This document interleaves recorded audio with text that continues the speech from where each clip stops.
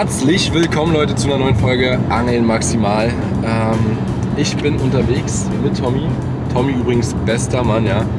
Ich muss sagen, aktuell ist das Fahren bei mir, naja, ich soll es lieber sein lassen.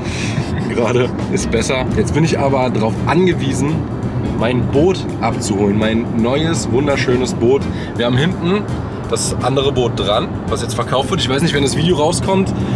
Vielleicht hat es dann schon jemand gekauft. Es gab schon ein paar Leute, die jetzt vorbeikommen wollen und es sich angucken. Aber äh, ja, falls da noch jemand Interesse hat und es noch da sein sollte, packe ich euch auf jeden Fall unten mal den Link äh, von eBay rein. Den Kleinanzeigen-Link. Könnt ihr euch das wunderschöne Fury inklusive äh, gute Mojo könnt ihr euch äh, theoretisch dann bei Bootsportgriff angucken und auch kaufen. Ich kriege jetzt neues. Was das sein wird, äh, werdet ihr gleich sehen. Wie gesagt, Tommy, bester Mann. Alle mal unten in die Kommentare schreiben, wirklich. Tommy, bester Mann. Weil ohne Tommy hätte ich richtig alt ausgesehen. Ich fahre nächste Woche schon nach, nee, diese Woche. Diese Woche, Ende der Woche. Heute ist Dienstag und Freitag fahre ich nach Norwegen. Und wir holen jetzt Dienstag auf Mittwoch äh, das neue Boot ab. Da hätte ich ganz schön alt ausgesehen, wenn wir, also wenn Tommy nicht eingesprungen wäre und mitgefahren wäre. Deswegen, äh, wie gesagt, Tommy bester Mann und ja, dann wird es auch dieses Video jetzt gar nicht geben, wenn Tommy nicht mitgekommen wäre. Dann hätte das auch eine ganze Weile gedauert. Also mindestens zwei Monate. Wir sind jetzt, wie gesagt, unterwegs auf der äh, Strecke gerade äh, Richtung Frankfurt. Und Alter, es ist sowas von heiß. Wir haben 38,5 Grad aktuell hier draußen. Ja, mit die heißesten Tage des Jahres, aber genau dann ist es natürlich ganz äh, gut, in einem klimatisierten Auto zu sitzen und nachher in einem klimatisierten Hotel. Also gar nicht so schlecht ausgewählt den Zeitpunkt. Wir haben jetzt noch ein bisschen Strecke. Wenn wir da sind, mache ich die Kamera nochmal an. Und ansonsten sehen wir uns morgen zur Abholung des neuen Boots.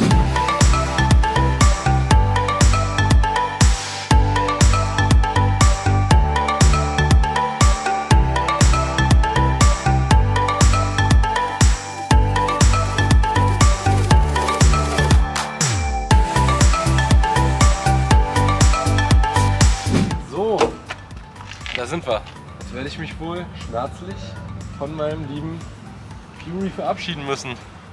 Also Leute, wir haben mit dem Boot, habe ich den größten Zander, also nicht ich habe den gefangen, aber ich habe den größten Zander überhaupt jemals gesehen auf diesem Boot von Erik. Grüße.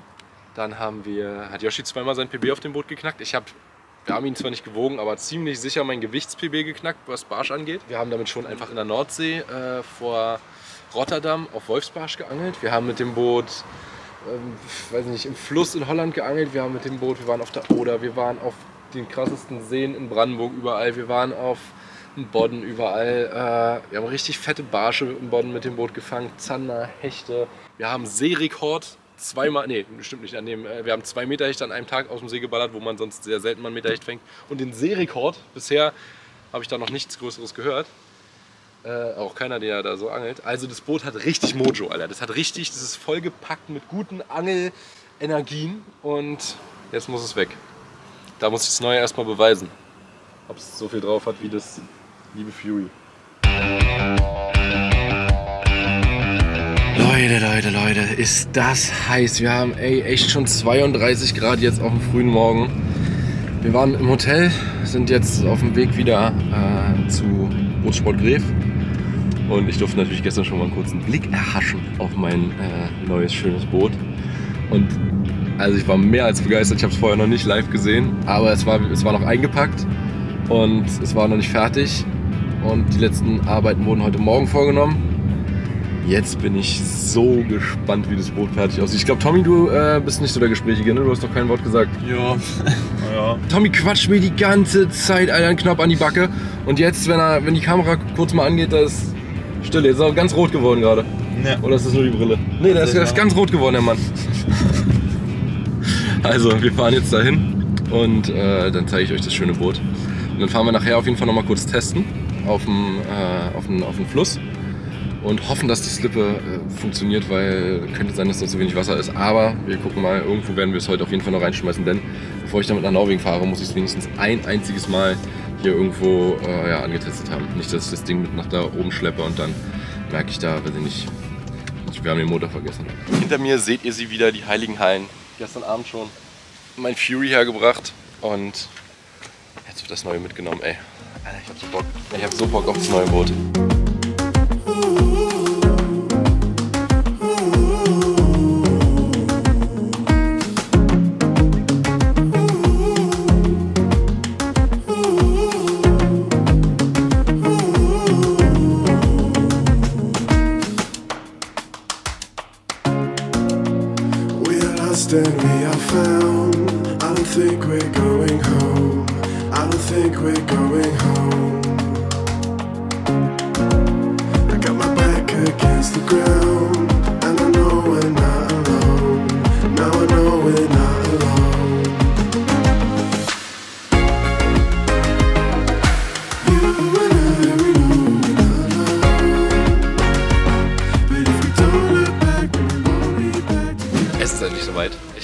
Jetzt schon gesehen, aber noch nicht vollständig ausgepackt. Schwenken wir da einmal rüber.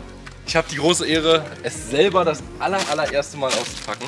Also das Boot hat noch kein Sonnenlicht jetzt gesehen. Es hat in Deutschland noch kein Sonnenlicht gesehen, oder? Nein. Ja, na, dann darf ich es euch präsentieren.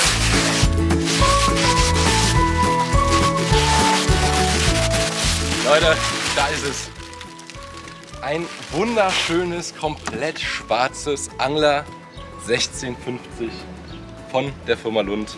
Komplett mit Garmin-Technik, alles was das Herz begehrt.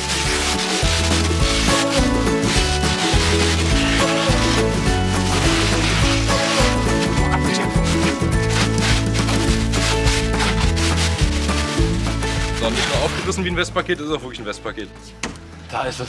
50 PS Mercury Außenborder mit der Pinne. Ganz wichtig für mich, äh, um möglichst viel Platz im Boot zu haben.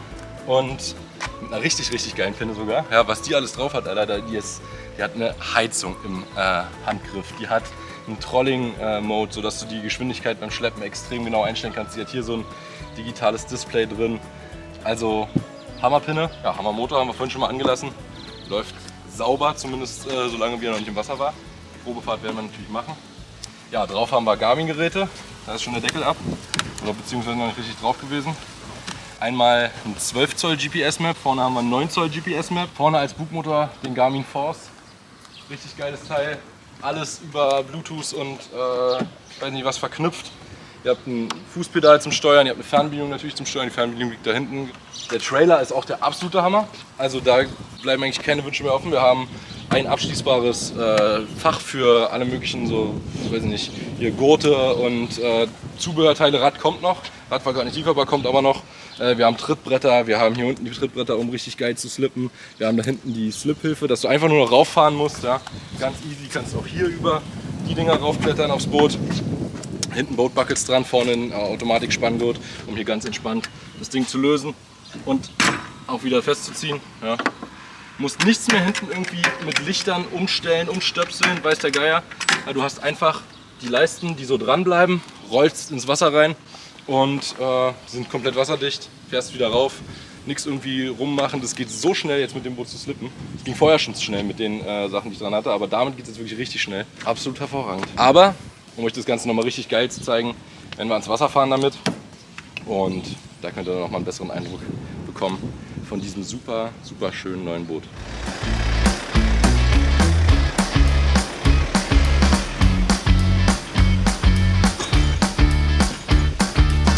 Find a boy, settle down.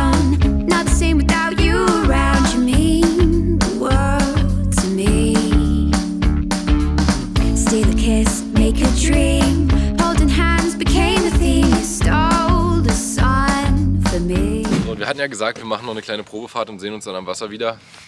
Da sind wir. Hat ein bisschen länger gedauert, hier hinzukommen. Ja, wir sind in Norwegen. Und die Probefahrt äh, hat das Boot gerade gemeistert. Und zwar einfach mal auf dem fucking Atlantik. Und äh, die ersten Fische waren nicht irgendwie Barsch oder Zander, sondern Seelachs und Pollack. Aber ich möchte euch natürlich trotzdem noch das Boot vorstellen. Neulich, als wir das Boot abgeholt haben, wir sind wirklich, ey, das war alles ein Stress. Also das Boot ist angekommen, ja. Dann hat es, äh, haben die es bei Gref, die Monteure, also äh, Thomas und äh, Christopher, haben das Ding zusammengeschraubt und Simon, ja, nicht zu vergessen, äh, haben das Ding zusammengeschraubt und ich habe es abgeholt und wir sind wirklich, also es war fertig, wir haben es mitgenommen. Dann ja auch diese Affenhitze, die wir hatten, die he- heißesten Tage des Jahres. Äh, wir haben es mitgenommen, dann hatte meine Freundin einen Tag Geburtstag, den Tag war ich noch zu Hause und danach direkt zack weiter, früh morgens los und hier nach Norwegen und da sind wir. Also äh, es war wirklich ein bisschen hektisch alles und deswegen wie gesagt keine Zeit für eine Probefahrt gehabt. Und wir haben es einmal ganz kurz ins Wasser reingeschmissen, einfach nur zu guck, zum gucken, ob äh, alles läuft. Lief alles und jetzt sind wir hier und haben heute die erste richtige ja, Jungfernfahrt in Anführungszeichen gemacht. Und jetzt gehen wir noch mal kurz rein ins Boot. Ich zeige euch noch mal von innen so ein paar Sachen. Äh, Wir haben vor allem nicht mehr diese Affenhitze, ja, die wir neulich hatten, sondern äh, es ist jetzt angenehmer geworden äh, hier in Norwegen.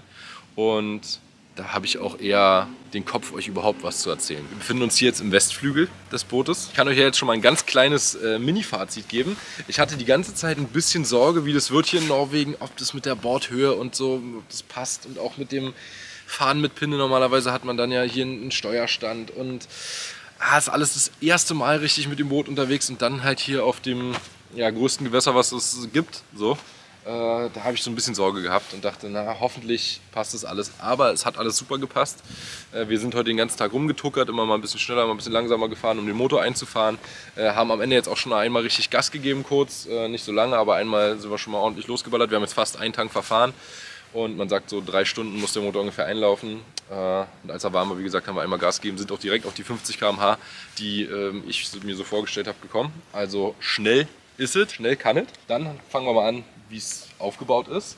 Wir gehen jetzt nicht auf die, auf die Geräte ein, das machen wir nochmal extra. Ja? Also zum Beispiel, wir haben den, den Force Trolling Motor von Garmin, der viele geile Features hat. Erstens kann man ihn richtig schön äh, einfach hier mit diesem äh, Seilzug rein raus. Ne? Ich sag gerade, wir gehen nicht auf die Technik ein und dann fange ich an, die Technik zu erklären. Nee, aber es ist nur, nur grob. Du richtig schön einfach rein raus. Ihr habt eine Fernbedienung, mit der ihr Gestensteuerung, also ihr sagt, ihr wollt da hinfahren, dann fahrt ihr dahin. Ihr könnt auf dem Echolot, alles super, ist alles vernetzt, ja. Äh, auch über Bluetooth oder WLAN oder ich weiß nicht, irgendwie ist es vernetzt, kabellos. Ähm, ihr könnt auf jeden Fall sagen, er soll jetzt da hinfahren mit der Fernbedienung in die Richtung zeigen und dann fährt er dahin.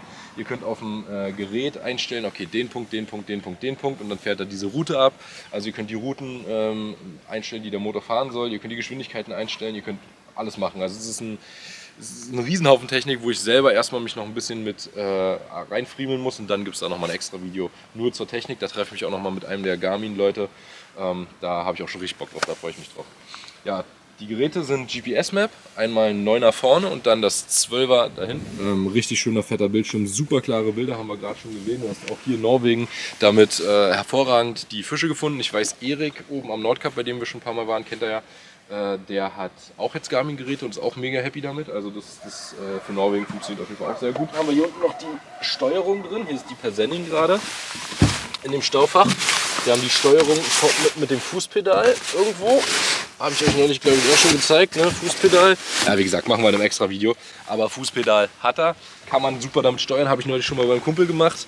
Das Ding ist auch kabellos, das heißt, das könnt ihr euch überall, ich habe jetzt zwar ein Kabel dran, weil es darüber auch mit Strom äh, versorgt wird und dann äh, geladen wird, aber ihr könnt das Teil theoretisch überall ins Boot stellen und überall vom äh, überall im Boot äh, mit, dem, mit dem Fußpedal steuern. Wir haben viel Stauplatz, Staufächer hier vorne. Da habe ich erst ein bisschen, ich dachte immer so auf den Bildern, ich kannte ja mein Boot quasi noch gar nicht live. Ja, und ich dachte dann auf den Bildern immer im Prinzip wie beim Fury, aber es ist auch im Prinzip wie beim Fury, nur halt deutlich größer. Also was so ein halber Meter Länge und 20 Zentimeter Breite ausmachen können, ist unglaublich. Also bei Booten ist es wirklich extrem, was dieser kleine Zuwachs äh, eigentlich nur an der ja, äh, Gesamtlänge und äh, Breite an Platz innen dann ausmacht. Wir haben wie gesagt große Staufächer, da steht ja alles mögliche rein. Ich habe jetzt hier im Moment nur Schwimmwesten drin und das Ladegerät. Ansonsten, was ist hier noch drin? Der Anker liegt hier unten noch drin. Aber hier könntet ihr Tackle reinschmeißen ohne Ende. Äh, Das werde ich mir alles noch so sortieren, wie ich es haben will. Wir haben hier eine fette Jaro-Cells Batterie. 50 Ampere mit äh, 24 Volt für den Motor. Den könnt ihr nämlich mit 24 und 36 Volt betreiben. Dann hat er, je nachdem was hier ranhängt, halt auch noch mehr Power. Im Moment ist die Batterie aber auch komplett ausgeschaltet. Dann habt ihr hier vorne noch ein Staufach. Da habe ich zum Beispiel normalerweise jetzt meine Fender drin. Ist gerade leer, da ist nichts drin. Aber hier packe ich meine Fender rein und so ein bisschen, ähm, ein bisschen Zeug zum Festmachen, also Seile und so. So, was haben wir noch? Hier könnt ihr da den Stuhl noch oben reinstecken. Stuhlsteckplatz oben. Wir haben hier einen fetten Livewell. Ja, also ein großes Fach, was ihr theoretisch hier, das ist der Kescher, den brauche ich hier für Norwegen vor allem, um die äh, Seelachse und, und Dorsche zu keschern. Ne, das ist der Kescher für, theoretisch für Köderfische. Weiß nicht, ob ich mal mit Köderfisch angeln will. Ähm, ansonsten, Yoshi will sich das Boot ja, glaube ich, auch zulegen. Bei dem reicht es auch wirklich für seine Barsche. Und äh, sonst habt ihr hier ein super Fach, wo ihr entweder könntet da hinten einfach zumachen und dann ist das Ding dicht, da kommt hier kein Wasser rein. Äh, da könnt ihr einfach noch äh, als zusätzliches Staufach nehmen. Oder mein Tipp, gerade jetzt im Sommer, vollhauen mit Eis und dann Getränke rein. Das ist ein richtiger, da könnt ihr richtig einen gucken lassen. Wenn er das Ding aufklappt und dann kommt schon so dieser, dieser Kältedampf kommt da raus. Wie, wie nennt man das? Kälterauch? Keine Ahnung. Ihr wisst, was ich meine. Kommt dann da raus und in den Eiswürfeln liegen die kühlen Getränke drin, die kühlen Y-Foods und da könnt ihr äh, ja, auch mit der Family hier Spaß haben. Zack. Vernünftige Schließen überall. Wir haben hier einen Getränkehalter, da einen Getränkehalter und da hinten ist noch ein Getränkehalter. Wir haben super große Fächer für Routen. Die, ah, jetzt kann ich, kann ich euch gerade gar nicht sagen, wie lang die Routen sein können, die da äh, reinpassen, aber lang. Also da passen auf jeden Fall alle normalen einteiligen Routen easy rein. Dann habt ihr natürlich, wie gesagt, eine Sitzplätze, könnt ihr verstecken. Oben habt ihr äh, einen Steckplatz, hier habt ihr einen Steckplatz, da habt ihr einen Steckplatz, der hier hinten ist fest. Den hier haben wir extra darauf angepasst, dass ich auch wirklich perfekt drin sitze, wenn ich fahre hier, ja, dass das alles äh, hinhaut. Dann haben wir eine Badeleiter, die wird einfach so, ja, mal ganz kurz, hatte ich am letzten Boot auch schon. Finde ich eine coole Sache, weil es halt super schön klein, platzsparend verstaut ist. Zack, so, hier zwei Stufen drin, die fest sind. Und dann könnt ihr da wieder reinklettern, wenn er entweder reinfällt oder mit Absicht reinspringt. Ihr habt hier hinten auch nochmal große Fächer, in denen einerseits der Tank verstaut ist. Ja, 25 Liter sind das jetzt. Dann könntet ihr auf die andere Seite theoretisch noch einen 25 Liter Tank machen. Oder aber, ich habe jetzt hier drüben drin einmal ein Ersatzkanister für Sprit, ein Ladegerät, eine große Jarocells Batterie äh, für die Echolote. Das ist eine 100 Ampere 12 Volt ja, für, die, für die Echos. Und die sind damit auf jeden Fall richtig gut versorgt. Ladegerät ist wie gesagt auch noch hier unten mit drin. Ein Hauptschalter, den können wir jetzt auch direkt mal wieder ausmachen. Und da ist hier unten in der Mitte noch die Verbraucherbatterie. Das war es hier hinten. Hier ist noch eine Luke, wo er an die ganzen Sachen rankommt zum äh, Pumpe, also für die Lenzpumpe und so auf und zu machen. Und sonst würde ich sagen, ja, hier ist noch ein Kasten für äh, eure ganze Bedienung. Ja, da könnt ihr die Hupe betätigen. Finde ich richtig geil. Und ähm, ein Echolot draufbauen. Ihr habt hier drüben noch ein Routenstaufach. Hier ist fürs Livescope. Das wird auch äh, ganz interessant dann. Mal gucken, was wir damit machen. Aber das, wie gesagt, späteres Video. Äh, hier unten habt ihr noch ein kleines, äh, eine kleine, kleines Fach, wo ihr irgendwelche, weiß nicht, könnt ihr Tackelkisten reinpacken, könnt aber theoretisch auch Bootszubehör, was man irgendwie noch mal brauchen könnte, reinpacken. Hier könnt ihr Zangen reinstecken. Also es ist eigentlich wirklich für alles gesorgt. Unterschied zum Fury ist zum Beispiel noch, dass ihr hier jetzt an der Seite Teppich habt. Ihr habt ähm, hier er an der Seite Teppich. Ich weiß gar nicht, war das beim Fury auch? Bin ich mir gerade gar nicht sicher. Aber die Bordwand war auf jeden Fall nicht mit Teppich bezogen. Das Boot ist halt komplett schwarz. Das war vorher auch nicht. Wir haben jetzt hinten ganz wichtig eine Casting-Plattform. Das ist halt eigentlich so der Hauptplatz, der dazukommt hier, den man dann extra hat. Das hat mich immer ein bisschen gestört, wenn ich äh, vorne angeln wollte auf der Plattform. Also wenn ich auf der Plattform angeln wollte, aber hinten gefahren bin, dann war immer jemand anders vorne auf der Plattform.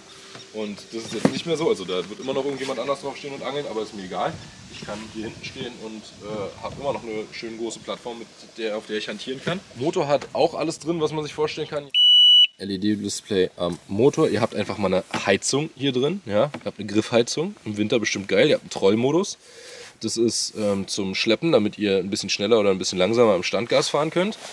Ja, könnt ihr natürlich hochklappen, dass ihr hier äh, mehr Platz habt zum Angeln. Und sonst ganz geil. Auch ein äh, großer Unterschied noch zum Fury. Sollte es Fury jetzt aber auch bekommen, glaube ich, demnächst. Ähm, wir haben, das sind hier die, die äh, Brackets für die Fender, Fender Brackets von Lund direkt. Die könnt ihr hier einfach an dieses Schienensystem ranmachen. Ups. Und dann abmontieren. Und da geht natürlich auch alles andere ran. Es gibt auch diese Brackets von Lund äh, ohne Fender natürlich. Also nicht als Fender Brackets, sondern als Brackets für jedes Zubehör, was ihr da ranschrauben wollt. Das ist ein etwas größeres Teil. Habe ich auch, aber habe ich jetzt noch nicht angebaut. Und ja, das wird auch einfach von mir rangemacht. Zack, fest. Dann ist es wirklich auch fest hier in dieser Schiene verankert. Da könnt ihr Routenhalter ranmachen, da könnt ihr Halterungen für, für alles eigentlich. Könnt ihr noch Getränkehalter extra ranmachen. Ihr könnt Schlepproutenhalter ranmachen, Vertikalangel, tote Route, Routenhalter, was auch immer ihr wollt. Ja. Dann sind wir jetzt aber, glaube ich, wirklich durch. Da haben wir, glaube ich, erstmal alles gehabt. Hier sind noch die äh, Steckplätze für das Licht. Einmal fürs Rundumlicht, fürs Große und vorne ist das fürs Navigationslicht. Ja, Ram-Mount-Halterung haben wir drauf verbaut. Wir haben noch den Livescope an der äh, Geberstange von Kaiser Edelstahl. Aber auch das dann in einem äh, Video, wo es dann mehr um die Technik geht. Das war jetzt erstmal so zum Boot. Und ich muss wirklich sagen, ich bin unfassbar happy. Also wie geil das Boot einfach schon aussieht in komplett schwarz auf dem komplett schwarzen Trailer. Das ist ja unfassbar. Jedes Mal wieder, wenn ich das jetzt irgendwie auf der Tour hier irgendwo an einer Tanke oder weiß nicht, wo man ausgestiegen ist, äh, das Boot hat stehen sehen, dachte ich mir, Alter, ist das ein geiles Teil. Und ich kann euch sagen, es gibt auch hier Jeremy Fragrance. Kennt ihr den? Der erzählt immer für welche, also es ist ein, ist ein Quatschkopf, aber der erzählt über Parfums und äh, der erzählt dann auch, wofür er besonders viele Komplimente bekommt. Und für dieses Boot habe ich wirklich sowas von viele Komplimente bekommen. Tommy, der sich mit seinem Vater, der ne, dabei war, als wir das Boot geholt haben, der mit mir das Boot geholt hat, weil ich gar nicht fahren kann im Moment, ähm, der hat, der ist schon fast neidisch geworden, wie viele Komplimente es gab und hat dann mal gesagt, naja, ja, es gibt aber auch nicht Komplimente für dein Boot, dann sollen sie mal anders sehen. So. Aber das hat wirklich, auch heute, als wir geslippt haben, der Typ fand das Boot so geil, war auch ein mega netter äh, Kerl, der uns hier äh, voll geholfen hat und so. Und ähm, ja, das Boot hat richtig viele Komplimente mir eingebracht. Das ist, denke ich, positiv, würde ich mal behaupten. Aber deswegen kaufe ich mir natürlich kein Boot. Trotzdem ist es eine, eine schöne, schöne Zusatzinformation. Also es gefällt scheinbar allen so bisher. An der Stelle möchte ich mich natürlich auch nochmal bei Bootsport Geref bedanken, die das Ganze äh, möglich gemacht haben, klar gemacht haben. Äh, Mercury Marine hier, äh, wunderschöner Motor dazu, Garmin, äh, absolut geile Geräte, was ich bisher ähm, testen durfte, war ja noch nicht viel. Aber da wird sicherlich noch einiges kommen jetzt in Zukunft und ich freue mich wie gesagt schon mega darauf, mit den äh, Garmin-Leuten auch mal aufs Wasser zu fahren und alles nochmal wirklich ins Detail zu gehen und bis ins Detail erklärt zu bekommen. Und danke auch an euch alle, die natürlich überhaupt all diesen ganzen Kram hier möglich machen. Also immer wenn ich jetzt hier so eine, so größere Neuerungen gibt, wie zum Beispiel so ein Boot, dann ja, denke ich mir immer wieder, ohne euch ganze Zuschauer wäre das nicht möglich. Also wie gesagt, vielen Dank nochmal an der Stelle. Ich Sagen, wir sehen uns im nächsten Video, wo wieder geangelt wird. Checkt mal Bootsport Gref ab, wenn ihr Interesse habt. Mein Boot, wie gesagt, was ich vorher hatte, das Fury, was auch ein sehr schönes Boot ist. Das steht im Moment jetzt bei Bootsport Gref in Speyer. Checkt es auch ab. Und dann, wie gesagt, sehen wir uns in der nächsten Folge. Haut rein. Ciao.